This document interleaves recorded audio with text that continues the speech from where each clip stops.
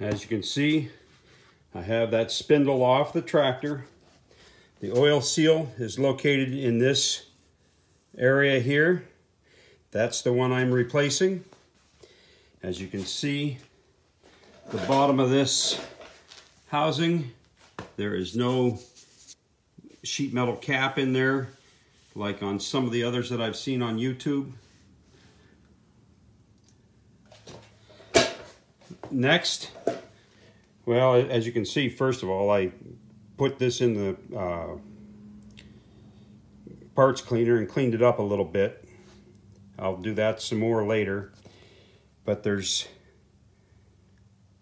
bolts on the bottom side here.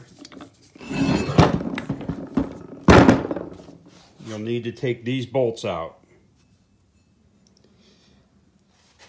That's what will separate the two halves.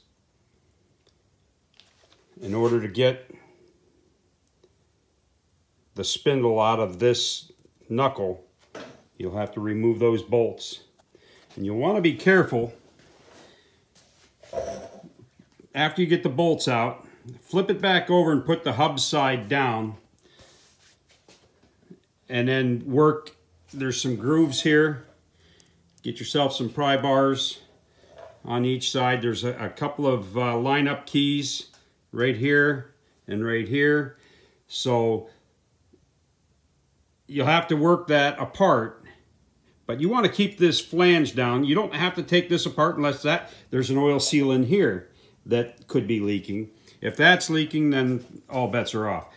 Uh, there's two little banana clips in there that hold this uh, axle and, and hub to the unit.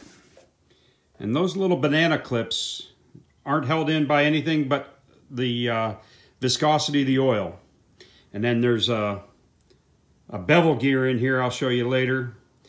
And on the bottom side of that bevel gear, there's a recess that uh, fits over top of those two banana clips. And they uh, they're held in by that recess. All right, I'm going to uh, go ahead and take this apart now.